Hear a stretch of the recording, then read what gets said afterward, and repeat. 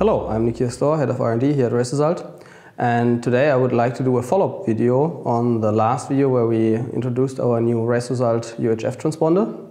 And today um, we would like to explain a little bit how we actually compared the transponders and how the measurement works. So this will be a very technical video. Um, I hope it's interesting for you. So to start with, we, as I explained in the last video, test our transponders in the lab and not on race day. This is because we don't really have a lot of transponders to test with because normally you get hand samples, just a few, and you need to decide whether the transponder is good for you or not without having thousands of transponders to test on a race.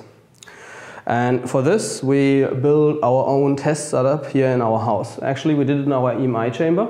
So we have a chamber which is downstairs in the basement, which actually is um, normally used for pre-compliance testing, um, for FCC regulations, things like that.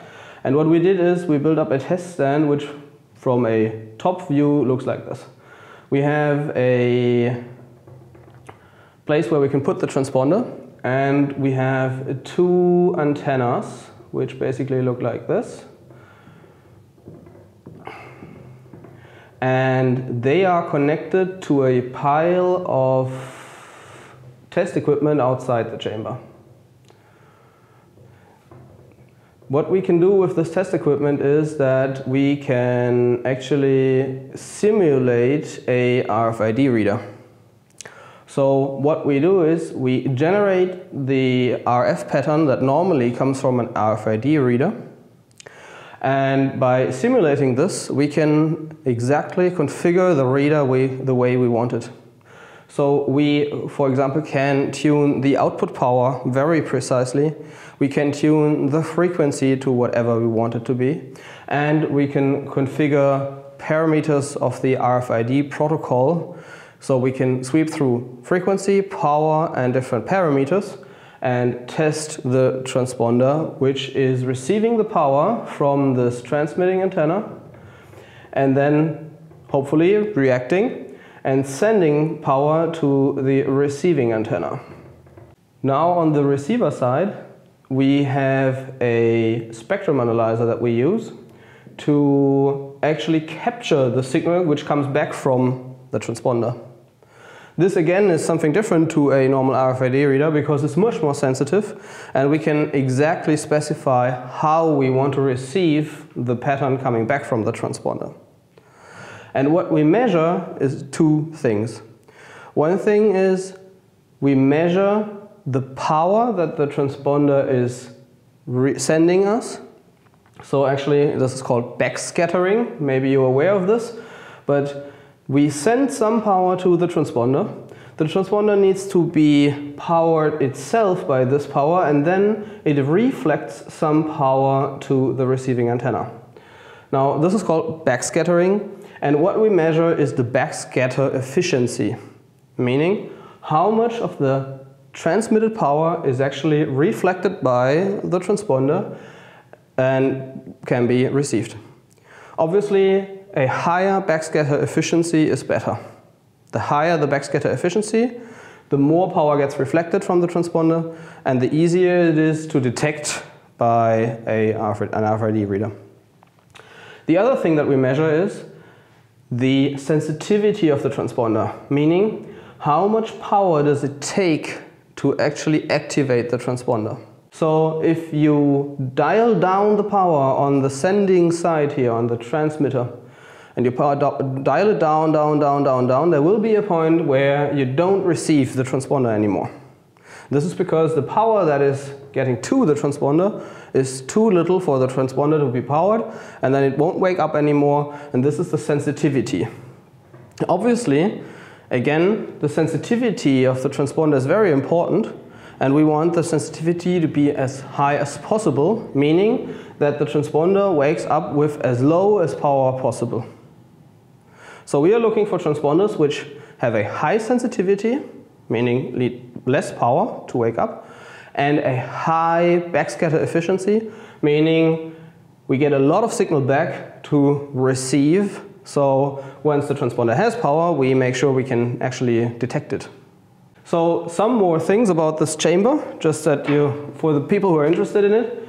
Actually, the chamber um, has lots of absorbing material in there. Maybe some of you ask yourself, why is this there? And um, I would like to go a little detail. Why are we doing this in a chamber, and why do we need a chamber for this?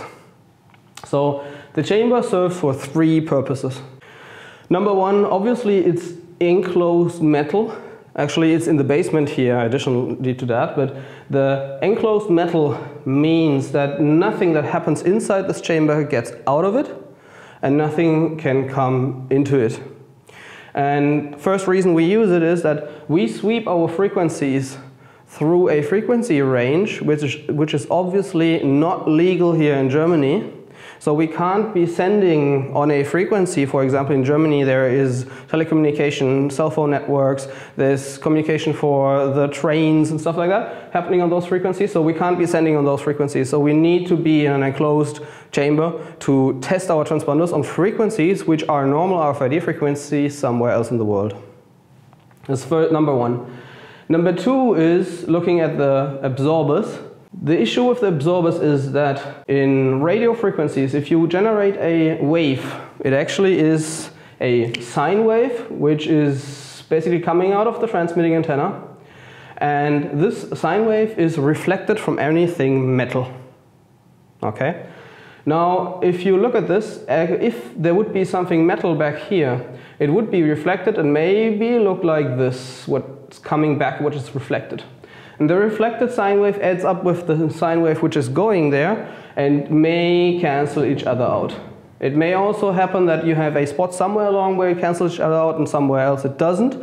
And this affects the whole measurement. You can't actually measure if you have any reflections going on because you're never sure if you're actually measuring what the transponder is doing or if you're measuring some kind of reflection um, uh, effect where um, you have some piece behind your transponder which is generating a what's called a standing wave um, which affects your measurement. So this is why we have the absorbers. Number three is we want to have a absolutely quiet room. You can imagine in this house here in our building there are RFID readers everywhere. They're being tested in production. We have some people in our rental pool room where they test transponders and equipment. Basically, there is an, a very dense RF environment. And what we need to make sure is that when we measure something here, that we are actually really measuring our transponder under test and not something else that's happening in the room. It might even be just a cell phone sending on a frequency that we might be measuring. So it's really important to isolate this from the rest of the world so basically, as nothing gets out, nothing can get in. So this is why we need a EMI test chamber. So now back to the measurement.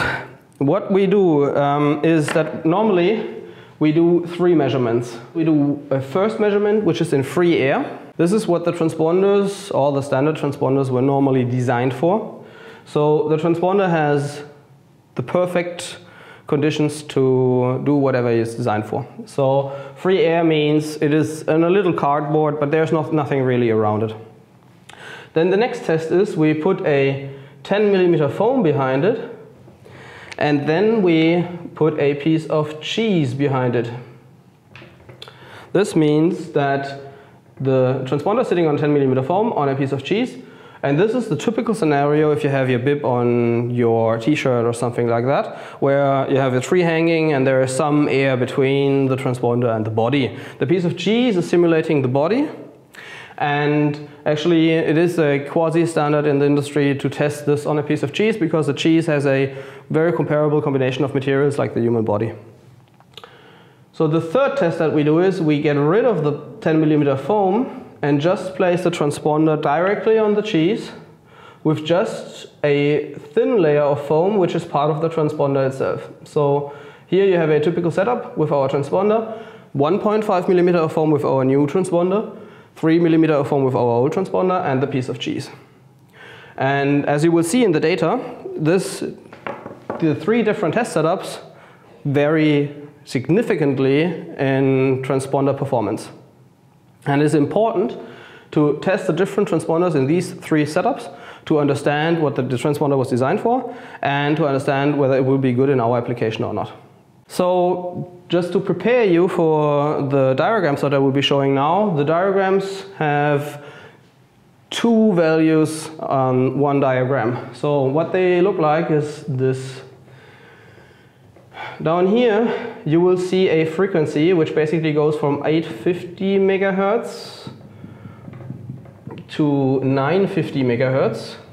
This is the test frequency. So with our generator over here, we sweep through this frequency range to see how the transponder performs on different parts of the world. Because there is a, there is a band somewhere here, which is the 866 megahertz band, which is basically Europe and some other countries. And then there is um, a large band over here from 900 to 930 megahertz, which is um, the US. Then there are other bands like here in this part, which is Australia, and you get the picture. So basically, all the different countries have different frequencies, somewhere between 850 and 950 megahertz. And it's important that our transponders, as we can't control where they are going, um, need to be working on all the different uh, markets and um, we need to specify this um, and do the whole measurements over this frequency range. So um, just to make things clearer, I got rid of the frequency bands again so I can draw what you will be seeing in the diagrams. So on this side here, you see the sensitivity. And uh, the sensitivity means, uh, as I explained, how much power does it take to actually wake up the transponder. So this is the minimum power needed to wake up the transponder. And it is better if the transponder needs less power. Okay? So if the transponder needs less power, it will wake up in worst case condition. If a transponder needs more power, it might be not enough to wake it up. So the further down this line, the better. So this typically over frequency might look something like, like this. Okay? So there are different things in place here with nonlinearities in the antenna and it is actually quite difficult to tune a um, transponder to be active on such a wide frequency band. So there are some variations over frequency. So this will be the sensitivity. The other value on this side here will be the backscatter efficiency. So this is backscatter efficiency. The backscatter efficiency means if we wake up the transponder, how strong is the signal backscattered? And obviously here, the higher the efficiency, the better.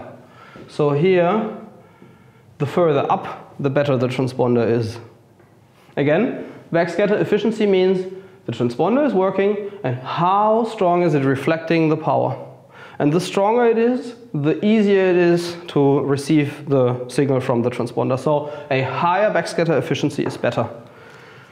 And this will, in all the diagrams, be in a dashed line. So this may look something like this. Okay? So a typical comparison, if you take two transponders, would at the end maybe look something like this. Okay? And maybe like this. So let's say we have a transponder A and we have a transponder B. And now the question is which transponder is better? Okay, so if you look at this, you see that transponder B has a better sensitivity saying it needs less power to wake up. Here it is lower it needs less power to wake up over the whole band. So the green transponder is definitely waking up at lower powers and is therefore better. On the other side, if you look up here, this is the backscatter efficiency. The backscatter efficiency of the green line, meaning there is more power reflected, is also better over the whole frequency band. So in this very simple diagram, transponder B is definitely better than transponder A. And this is actually how we shoot out all the transponder. Last year we went through dozens, dozens of transponders actually and did exactly this and measured those numbers and looked at all the different diagrams and looked at different measurements from, as I said, air, 10 millimeter on cheese and on cheese, and compared the diagrams. And that's how we came up with the race result transponder that we have now. So this is real measurement data from our measurements throughout the year, comparing a few of the transponders which are particularly interesting. To start with, we will start at looking at the free air measurement. Again, as I said, we have the solid lines showing the sensitivity and the dashed lines showing the backscatter efficiency. And we are comparing four different transponders here. The black transponder is our old race result transponder on 3 mm foam.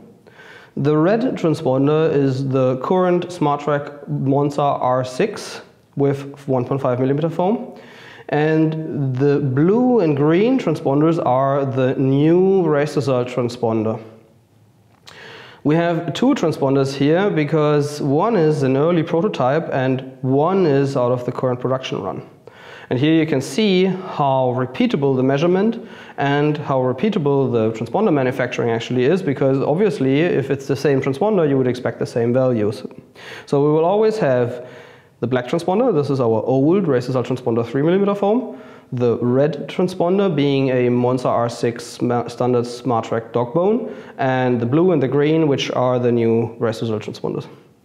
You can obviously see that in free air, the differences aren't that great, especially in the European section here over here. You see that um, the Monza R6 is actually a little bit better than our um, uh, standard race transponders and the old transponder. Um, and in the American market over here, you see that the race transponder outperforms the others, the Monza R6 and the old. Um, now, the thing is that in free air, it's never really an issue because in free air, all UHF systems work pretty decently. So the free air measurement just gives you a rough indication of how good a transponder is overall, and you can already see that those transponders are on par, I would say. Um, also, if you look at the backscatter efficiencies, the differences are small, and um, it is not really a good test, and that's um, actually what happens a lot of times that people believe that if they hold a transponder in front of an antenna and they go 10 meters away and they think, okay, this thing works great, um, they actually make a huge mistake because in free air it is very, very easy for the transponder to operate. So the free air measurement doesn't really say a lot. So now if we go on the onto the 10 millimeter on cheese measurement, things change a little bit. What you can already see here is that the differences have gotten a little bit bigger and um, that the blue and green lights, which are the new race transponders, already outperform the other ones significantly in the American frequency range. Now, one thing which is important is here you can, could argue that the Monza R6 is the same level as um, our new race transponder, and that's true. The thing is that only about 20% of our market happens over here, and 80% happens in this frequency range.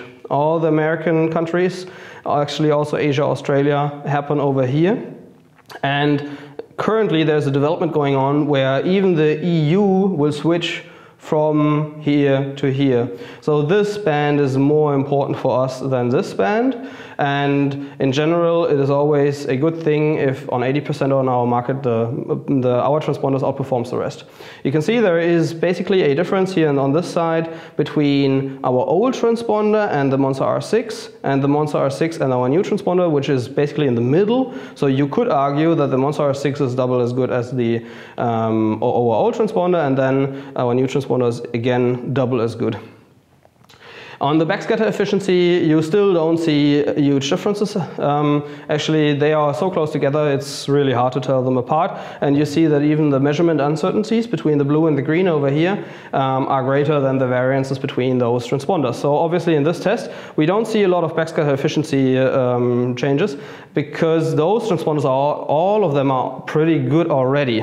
I mean, this is also for testing all kinds of transponders that we got from all ends of the world. And there are transponders which are much worse. So I'm already showing you transponders here, which all are pretty decent. I mean, this is the transponder we've been using so far. This is the transponder that many people are using out there. And this is our new transponder. So obviously all of them have to be pretty good.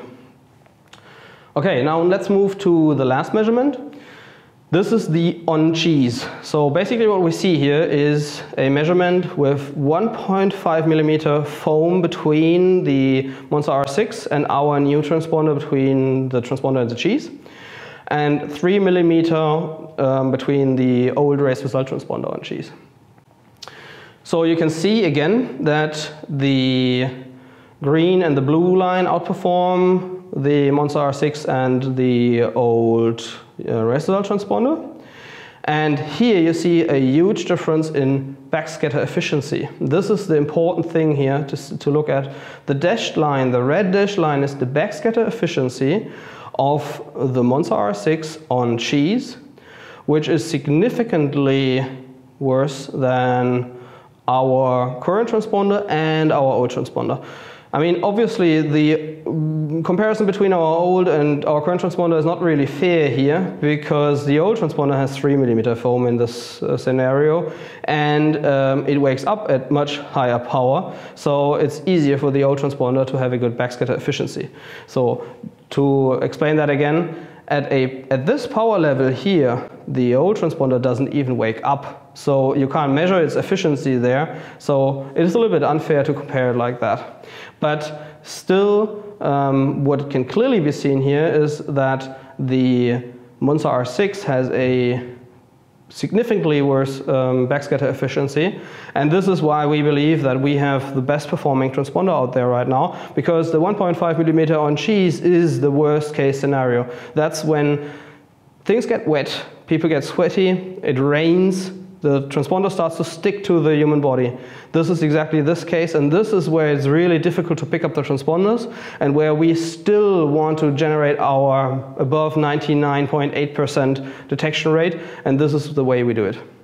So I hope you like this uh, new uh, RF tech deep dive video. Obviously, if you made it to the end, you are interested in this technical stuff. And I know some of you like this. Um, I know some of you may be bored. Um, but to be honest, you know, this is what really makes fun to me. So I really like to explain it. And I hope I can do uh, more videos like this. And see you next time.